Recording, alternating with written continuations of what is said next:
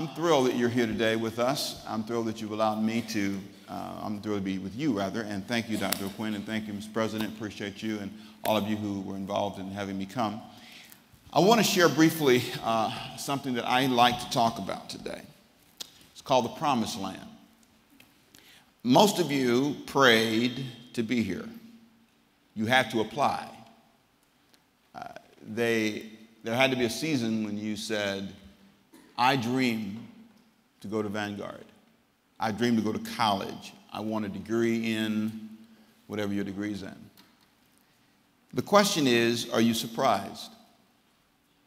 What are the surprises you've dealt with in this promised land?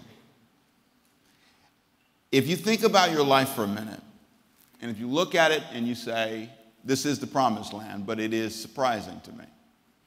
It's surprising that I have to do this much work. Surprising when the professor walks out and he shows you the syllabus and you go, you got to be kidding. I remember when I first went to college and uh, the professor came out and he gave me the work, I thought, you know, I have other classes. But there was something about that stretching moment that touched me in a way that has changed my life. Because I've learned that whenever you have a promised land, there are surprises, things you didn't expect, things you didn't believe would happen to you. There are a lot of moments in life when you think you've got it all figured out, but it's not until you get there. And in the Bible, there's this great story, Numbers chapter 13, and because you're Bible scholars, I don't have to read it all for you. It's Numbers chapter 13 and chapter 14. It's the story of Israel landing in the promised land standing on the borders of Kadesh Barnea, a place where now the dream was going to come true, just like you. Here you are, standing on the borders of the promised land. You're in college, you're building your academic strength, you're preparing for your future. Some of you have a dream of a husband and a wife and children and ministry and church and expansion and missions work. You have a, a dream of starting a business. You have a dream, and all those dreams are great. But I will promise you that there are surprises in your promised land. When you get there, there will be things you didn't expect. Now, you have to understand in the book of Numbers, when you get to the story when Israel's on this promised land border, is the culmination of generations of dreams. For many generations, they were people who, who were in slavery in Egypt, and now they were the ones who had arrived at the place of victory. They were the ones who were now going to have this great opportunity. They were the ones. For some of you, you are the one. You get to go to college, nobody else in your family did. You were the one. You feel the pressure in the moment. What's it like for you now that you're here? Are you discouraged today? Are you so frustrated with this quote, promised land, that you're now saying, I don't know if I want to stay? I don't know if, this is, if I'm cut out for this. It's all because of the surprises in your promised land. Here's the deal, I promise you. You're going to fall in love, some of you. Some of you are already there. You just know this is the guy. You're going to walk down the aisle you're going to go, oh boy, this is it. And he's going to stand there and he's going to be all dressed up in a suit he rented. and he's going to come down the aisle and you're going to say, oh man. And let me tell you, when that day happens, I do weddings all the time. And you just see this love dripping off people. And then a few months later, they're calling me. Surprises in the promised land. Can you believe he snores? Can you believe? I mean, when we got married first night, it's true, first night, first night marriage. I cut the light off, she cuts it on. Off, on. I can't believe it. The woman wants to be in the light. I want to be in the dark. I don't want to see anything. I'm like a bat, no light, nothing. She wants the light on. She just, we're different. She's louder than me. I'm quieter. Her office is across the hall from mine in our church. I'm telling you, she's jamming over there. She got the music all cranked up. I said, Diane, hello. Man of God across the hall trying to meditate. so I told her, when we build our new facilities, you're going to be way on the other side. Of course, I had to repent because she didn't like that idea. But what's amazing is there are always surprises. Say that with me, please. Come on. Say there are always. There are always. Come on, join me, people. Come on. Say there, there are always surprises in the promised land. And I want you to remember that. It's incredibly true. I want to make just a few observations about the promised land. And again, because you're Bible scholars, I'm not going to read the whole text. Just read it on your own. Numbers 13 and Numbers 14. Here's the first thing I want you to notice. The First thing I want you to notice in Numbers chapter 13, verse 1 through 3, there were 12 hand-picked guys. Hand-picked guys. Imagine what that's like. 12 hand-picked guys to go and spy out the promised land. Be one of the 12 guys. Imagine that. We have a secret mission for you guys. We want you to go like 007, spy off this land and come back with a report. Now, what you find is these 12 guys were diligent. In verse 26, they departed, came to Moses and Aaron and all the congregation of the children of Israel in the wilderness of Paran and Kadesh, and they brought back word. They went and did their jobs, but in Numbers 13 26, they come back and they give a report. 26 through 33. In Numbers chapter 13, they give back this incredible summary, and it all sounds good. But the one thing that they threw in that was a bit of an awkward thing was they, they start talking more about the difficulties and the surprises than the good things. If you go to a school like this, you can start out and you can have a really good opinion on the first day, first week. But if you're not careful, you will start focusing on the difficulties rather than the joys. Your whole mindset can switch in your marriage to what's negative than what's positive. It's so easy if you're not careful to lose sight. I see pastors all the time. Their focus quickly moves from the joy of ministry to the challenge of it. I mean, you know, this week there's a whole lot of stuff. I, I teach, you know, tonight, I teach just today rather, and then I teach six times this weekend, and then, then Tuesday. And I teach in Savannah too, by video, by the way, three times. So I get to talk a lot. I'll be seeing a lot this week. But what an opportunity.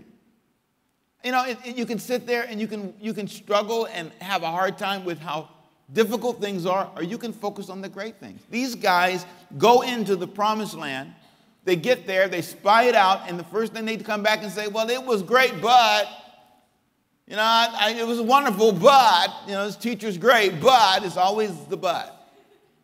And if you're not careful, that becomes your life. They were surprised by the challenges. Here's what they told him in, Numbers chapter 13, verse 27. They, then they told him and said, We went to the land where you sent us. It truly flowed with milk and honey.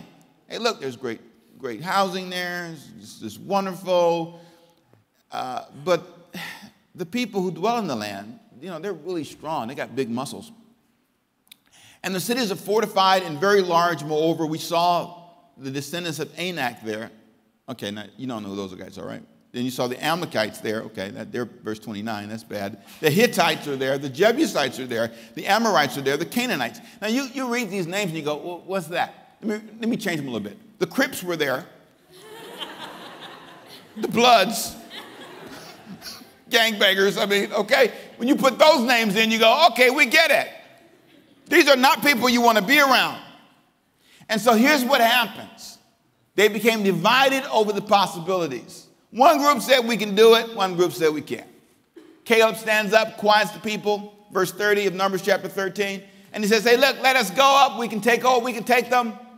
And you, you, you feel this tremendous excitement when one guy stands up, but the 11 guys said, forget it. 12, the 10 guys said, forget it rather. Not, we, we can't do it. Here's what they said in verse 30 These are the words that will haunt you. These are the words that will trash your degree. These are the words that will stop you from reaching your potential. These are the words that will stop you in business. These are the words that will wreck your life. We are not able. That's what they said, verse 30. The men who had gone up with him, 10, of the, 10 out of the 12, said, We are not able. Only Caleb and Joshua said yes. What do you keep saying you're not able, able to do? And the Bible goes on and says, verse 32, they gave the children of Israel a bad report of the land which they had spied out. That was it. Now, this is that moment when you sit there and you go, okay, so what do we do now? Think about this for a minute. I'll give you a formula. When something's tough, if you sit there and say, I can't do it, well, guess what? You can't do it. And you won't do it, so it never gets done. So why not say, I'm going to try to do it? I love the book, Rich Dad, Poor Dad, because one of the, it's a great little book if you've never read it, but it's a, about a guy who, uh, his parents were college professors, and then there was a guy who was in real estate, and they lived next to each other and they became friends. And so it's a story of the guy talking about how his dad was compared to the, his neighbor, his friend, who was a rich dad. His dad had, the other dad had, rich, real estate dad had more money. And he, he, in the book, he chronicles how they fought as a family. And there were certain things that were outlawed in his rich dad's friend's home. He could never say we can't because he said it shuts down your brain. So we're not going to even try now. We just gave up on this class. We just gave up on this relationship. We just gave up on my whole life. So we just sit here and say, we can't. That's what these guys did. They shut down all possibilities. Caleb tried, Joshua tried, nothing worked. And so they became disappointed. And the sad part is, then they turned in chapter 14 on the leadership and said, let's just kill Moses, let's leave these guys. It's amazing who you turn on. You'll turn on your parents, you'll turn on your professors, you'll turn on your friends, you'll turn on people when life doesn't go the way you want if you're not careful. When you become disappointed, watch yourself. You start misapplying blame, you spend your whole life dwelling on what's wrong with you. I always tell people listen, if it's difficult, if it's tough, why talk about it like that? I mean, really, I mean, look, if you, you ever seen anybody, now, now, now hear this right. You see her with a guy and you can't believe she got that guy. Have you ever, you, you can look like you know what I'm talking about, right? You, you, you said, oh, you're kidding. You're with her? Did you look in the mirror? Did you see her? Here's the deal she doesn't believe she has a problem. You do. She's looking beyond her flaws. She may be a little bit of this and not have a little bit of that, but she's working with what she has. Same thing with the guy. A guy who believes that he can. A pastor who believes that he can. A guy who thinks that my world is not going to be over because of this flaw or that flaw. That person has a greater potential to try. And they're not going to blame anybody. Listen, I'm not going to blame my daddy. I can tell you a story. I was raised by a single parent. I can tell you that I grew up in southern, South, South Central LA. I can tell you all the things that I, I ran from the Crips, for real, and the Bloods. I can give you many stories that would have, could have prohibited me from being here today. But I'm here. We didn't own a washing machine. We washed clothes in the sink.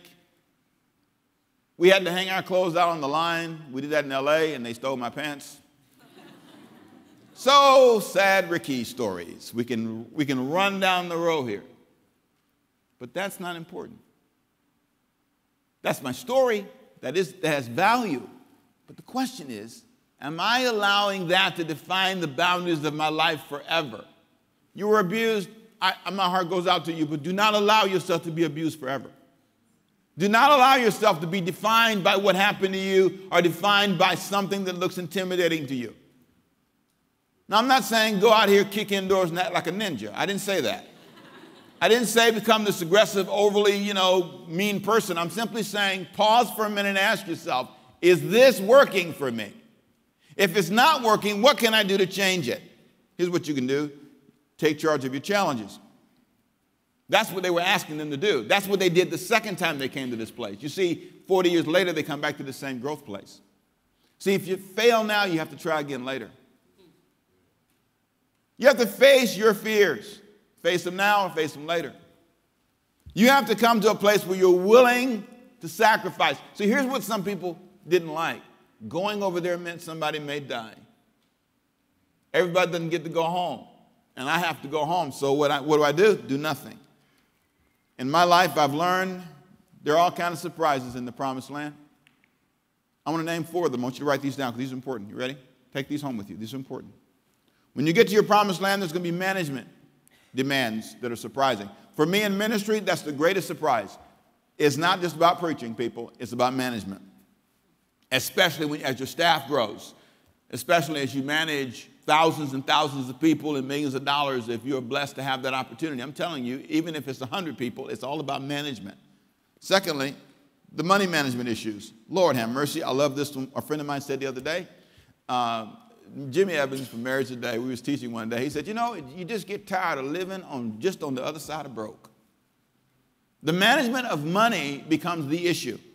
The marriage pinches, I call it. The marriage pinches. It seems like ministry will pinch your family squeeze them out of your life if you're not careful. So you got the management demands, the money management issues, the marriage issues, the personal temptations to be insecure issues. If you want to know a bunch of people that can be insecure, look at preachers. Lord have mercy, it's amazing. Did I do good? Am I preaching well? How did I do today? And then you have what I call the temptation to walk by sight and not by faith. 2 Corinthians 5 and 7 is a strong verse. Live, live by for the rest of your life. You walk by what? Faith and not by sight. You will never see everything.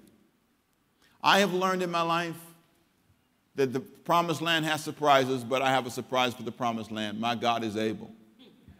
Unto him that's able to do exceedingly abundantly above all I can ask or think. But God is not normally my problem. God is never my problem. Really, it's me. I'm imbalanced. And I've learned some smart things to do. Here's number one take a Sabbath and rest. Number two, take care of your health, exercise, eat right. Number three, be emotionally balanced. Admit when you're off emotionally and you need to be on. Take time to manage your money. Do not get in foolish debt and end up owing, spending your life owing banks and owing, owing people. Debt has a place when it's wisely used, but a lot of us aren't wise with our debt. And then here's the last one be transparent and let qualified people help you. Being a transparent person can transform your life. Letting somebody in so you're not alone.